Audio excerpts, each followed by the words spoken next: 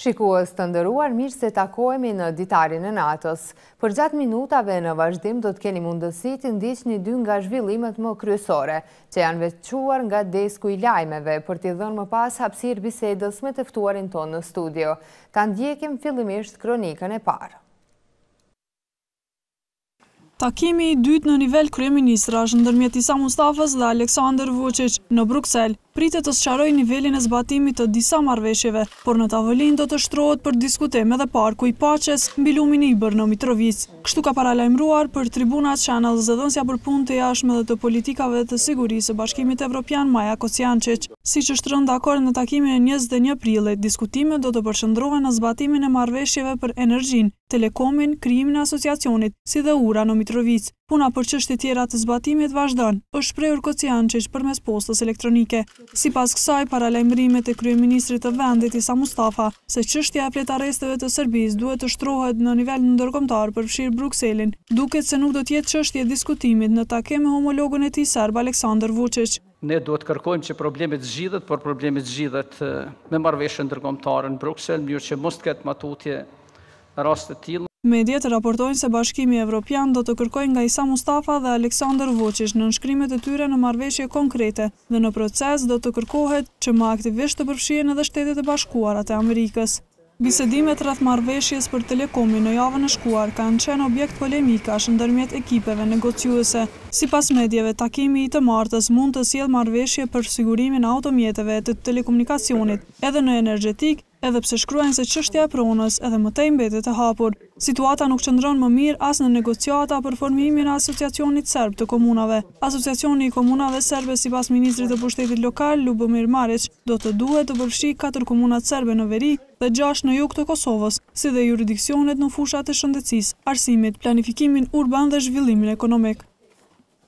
Pezullohen për një muaj punimet në fshatin Llapushnik për ndërtimin e kishës katolike. Banorët kundërshtojnë vendimin sepse vlerësojnë që pjesa ku janë duke u bërë punimet është shpallur zonë e mbrojtur e UÇK-së. Banorët kanë marrë premtime nga kryetari i komunës së Drenasit, Nexhat Demaku, që të shikohet mundësia e ndarjes së një parcele tjetër. Me pankarta në duar, Shtëpia e Zotit nuk bëhet me dhunë, Stop Ipeshkvisë, Ne nuk kërkuam ndarje, ata po kërkojnë, rreth njëqind banorë të fshatit Llapushnik ishin mbledhur para objektit të Komunës së Drenasit për të protestuar kundër punimeve në ndërtimin e kishës dhe varrezave katolike në fshatin e tyre.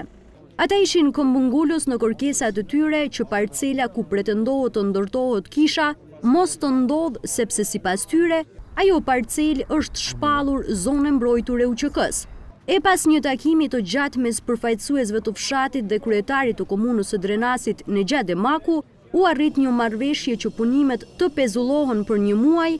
si dhe u shqyrtua mundësia që për ndërtimin e kishës të ndahet një parcelë tjetër më e vogël. Bujar Thaçi, këshilltar komunal nga radhët e PDK-së, tha se janë mbledhur para komunës për të kundërshtuar vendimin e komunës, i cili sipas tij është skandaloz dhe i papranueshëm. Ne sot kemi ardhur këtu të kërkojmë nga kryetari i komunës Drenasit që takohemi, të mirremi vesh për çështjen, pra për rastin e kishës, ndërtimin e paligjshëm në fshatin Llapushnik dhe kërkojmë nga kryetari që të mos na anashkaloj, njëkohësisht kërkojmë që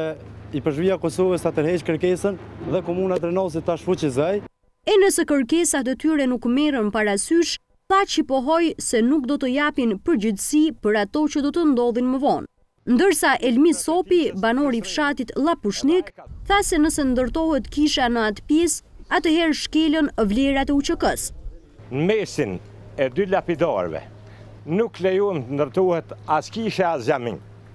se i shkel vlerat e luftës dëshmorët cilët kanë bën luftë në atë vend nuk kanë dhënë jetën për të ndërtuar kisha e xhamia. Kjo është protesta e katërt me radhë që banorët e fshatit Llapushnik kundërshtojnë kërkesën e Ipeshkvisë së Kosovës dhe vendimin e Komunës së Drenasit për mënyrën e ndarjes së parcelës, siç thonë ata, kundërligjore për besimtarët katolikë të këtij fshati. për të diskutuar më në hollësi rreth çështjes së ndërtimit të kishës në fshatin Llapushnik, në studio kemi të ftuar këshilltarin komunal Xhavit Drenori. Zotëri Drenori, mirë se erdhët në ditarin e natës. Mirë se ju gjetëm faleminderit për mundësinë. A mund të na thoni si qëndron puna me lokacionin që është ndarë për ndërtimin e kishës katolike në fshatin Llapushnik? Në fakt, më duhet t'ju jap një sqarim që në fillim, lokacioni i ndarë në Llapushnik për mbi dy hektarë ka qenë vetëm për varrezat e komunitetit katolik dhe jo për kishë, e para e punës. E dyta, më lejoni gjithashtu të sqaroj opinionit publik që debati i transmetuar sidomos në media se janë apo s'janë komuniteti shumicë i Llapushnikut për ndërtimin e kishës nuk janë të saktë, janë jo të vërtetë sepse Ideja edhe e gjithë protesta e asaj është se lokacioni ka qenë në dyshim, si dhe vendimi i marrë i kryetarit në vitin dy mijë e dhjetë a është apo s'është i ligjshëm. Do të thotë, banorët e komunitetit shumicë në Llapushnik me përgjegjësitë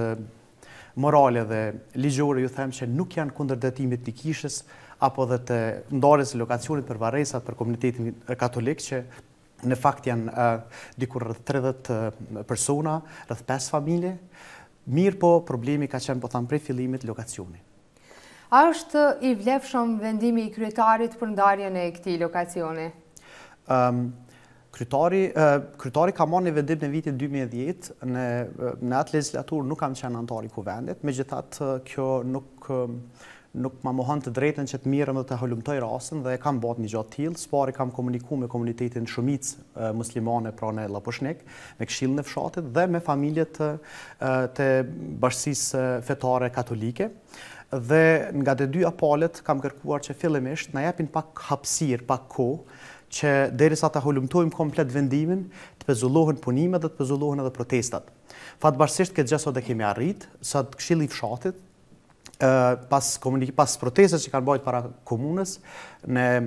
bisedë e sipër me kryetarin pas një bisede bukur gjatë kanë marrë një vendim bashkarisht që të pezullojnë punimet derisa të përfundon edhe muji i Ramazanit dhe gjatë ksoj kohe na jepet hapsira pastaj që të merremi me shqyrtimin e mundësisë së ndërrimit të lokacionit. Ndërsa sa i përket vendimit të kryetarit në atë botë, t'ju them të drejtën, kam hulumtu intenzivisht me materialet, sot isha edhe në zyrën e Sekretarisë së Kuvendit për të kërku vendimin. Vendimi si i tillë nuk ekziston, që do të thotë, vendim i tillë nuk është marrë prej Kuvendit Komunal, por është marrë vetëm nga kryetari. Ndërsa me ligjin aktual për vetëqeverisje lokale, kryetari nuk e ka atë drejtë. Kështu që në një farë mënyre këtu ka prapë një diskrepancë ndërmjet asaj që ka ndodhë, edhe ligjshmërisë, Megjithatë, këto do të mbetet që ta diskutojmë në mbledhjen e radhës së Kuvendit Komunal, ku do të kërkoj si pikë të veçantë të rendit ditës. Asambleja e Drenasit a ka debatuar ndonjëherë rreth kërkesës së Ipeshkvisë për ndërtimin e kishës në këtë fshat? Po përsëris, kjo ngjarje ka fillu në vitin dy mijë e dhjetë, dy mijë e nëntë dhe dy mijë e dhjetë, dhe duke u nisur nga ky fakt që në atë kohë nuk kam qenë anëtar i Kuvendit, Në atë kohë me siguri ndoshta edhe është debatu, mirëpo vendimi si vendim nëpër Kuvend nuk ka kalu, bile bile kandidatë që ose kolegët e mi që kanë qenë në atë legjislaturë më kanë thënë që vetëm deri tek Komiteti për Politikë dhe Financa ka ardhur si diskutim dhe nuk është vazhdu ma tutje, tuj pas parasysh që me siguri kishte has në kundërshtim. Megjithatë më lejoni t'i tham edhe disa fjalë rreth rreth rreth kërkesës së qytetarëve, shumica atje. Qytetarët, shumicë në Llapushnik, t'ju tham të drejtën, nuk nuk e kanë shumë problemin e ndërtimit, po tham edhe një herë, të të ndarjes së lokacionit për varreza dhe ndërtimit e kishës. Ata e kanë telashin me lokacionin, sepse lokacioni është Para se të bënte kërkesë famullia në atë kohë për ndarjen e asoj parcelës, tre muj ma herët që e kam edhe edhe edhe kërkesën, organizatat e dala të luftës së Ushtrisë Çlirimtare të Kosovës, dega në fshatin Llapushnik, fshati Llapushnik ka pesë mijë banorë, kishin shtru kërkesë që ajo pjesë të mbetet zonë zonë e lirë e ashtuquajtur e Ushtrisë Çlirimtare të Kosovës, të ndërtohet një lapidar i madh, me emrat e dëshmorëve martirëve si dhe të mbetet vend ku do të kremtoheshin të gjitha festat që lidhen me Ushtrinë Çlirimtare të Kosovës, meqë ka pas shumë beteja të lavdishme të Ushtrisë Çlirimtare në atë pjesë. Dhe pikërisht ai lokacion fatkeqësisht nuk iu është nda atyne, mas tre mujve kur kanë shtru kërkesë famullia është nda dhe mënyra se si është nda, po tham edhe një herë është pak e dyshimtë sepse kryetari nuk e ka sjellur vendimin në Kuvend, mirëpo e ka marrë vetvetiu. A mund të ofrojë komuna zgjidhje të pranueshme për të dyja palët? Unë besoj që po, edhe unë besoj që jemi në rrugë shumë të mirë, sepse unë po tham për neve ka qenë shumë e rëndësishme që së pari të ndalen protestat, dhe të ndalen përkohësisht edhe punimet aty, sepse nuk ishte drejt që gjatë ditës të punohet nën presion ndonjë firmë dhe n'mbramje të shkojë dikush dhe t'i rrëzojë ata gurë ose ato dhe të na hedhet një një një një pasqyrë si Drenas dhe si Kosovë realisht e papranueshme, kështu që unë besoj që tash do të ulemi dhe duke u bazuar në ligjshmërinë e vendimit të kryetarit dhe duke u bazuar në faktin që shumica dërrmuese e qytetarëve të Llapushnikut nuk janë që në atë lokacion të të, të bëhen varreza dhe të ngritet një kishë, unë besoj që së bashku në bashkëpunim edhe me dhe bashkëkoordinim edhe në bashkëbisedim edhe me dy komunitetet, kryetari i komunës dhe anëtarët e kuvendit, do të kontribuojnë maksimalisht që të gjendet një hapësirë tjetër, e pranueshme kuptohet për të dyja palët, sepse unë po besoj që gjatë kësaj kohe damet janë shumë ma të mëdhaja se sa po ndërtohet apo s'po ndërtohet një vend për varreza, po po po dëmtohet harmonia ndërmjet banorëve, ata janë vëllezër, ata të gjithë deri dje kanë qenë të paktën i kanë përkit njëjtit do të thonë komunitet dhe në atë kuptimin prej neve thonë dek dhe dek i kanë bashk, ata do të jetojnë së bashku. Për neve ka qenë, për mua personalisht ka qenë prej fillimit shumë e rëndësishme që mos lejohet hendeku ose ndarja ose ose prishja e tolerancës dhe harmonisë ndërmjet këtyre dy komuniteteve, se sa do të ndërtohet apo s'do të ndërtohet. Unë ju garantoj që do të ndërtohet edhe kish, unë ju garantoj që do të ndërtohen edhe varreza sepse qytetarët e Drenasit më s'paku e kanë atë hall. Dhe një pyetje të fundit. Në muajin mars ju keni paditur Ministrinë e Ambientit për shkak të shkeljeve të pretenduara ligjore rreth mos monitorimit të cilësisë së mjedisit në Drenas. Çfarë është bërë me lëndën tuaj prej asaj kohe? Në fakt një përmirësim i vogël, unë nuk kam bo një padi, unë thjesht kam bo një kallëzim penal. të bazuar në fakte të cilat për gjashtë muaj i kam mbledhë, kallëzimi penal është dërgu në zyrën e Kryprokurorit të Shtetit, pas dy dita i ka kalu te Prokuria Themelore, te Kryprokurori, kam pas takim për këtë lëndë me Kryeprokurorin, i cili më ka më ka garantuar që është marrë me seriozitetin ma të madh, landa ka shku te Krimet e Rënda, tashmë dihet edhe emri i prokurores së Prokurisë Themelore, respektivisht të krimeve të randa, e cila do të merret me landën. Lëvizje ma t'mdhaja nuk ka, mirëpo meqë ra fjala t'ju tregoj që kallëzimit penal do t'i shtoj edhe pesë faqe tjera me argumente plus rreth dyshimit se leja e lëshuar, leja mjedisore e integruar e lëshuar ka qenë falso dhe ka qenë e pabazuar në dokumentacion, respektivisht në legjislacionin në fuqi. Zotëri Drenori, falemderit për kohën që ndatë për shikuesit tanë. Falemderit dhe prej jush. Këtu po e mbyllim edhe ditarin e natës, natën e mirë dhe mirupafshim nesër në lajmet qendrore. Mirëmbetshi.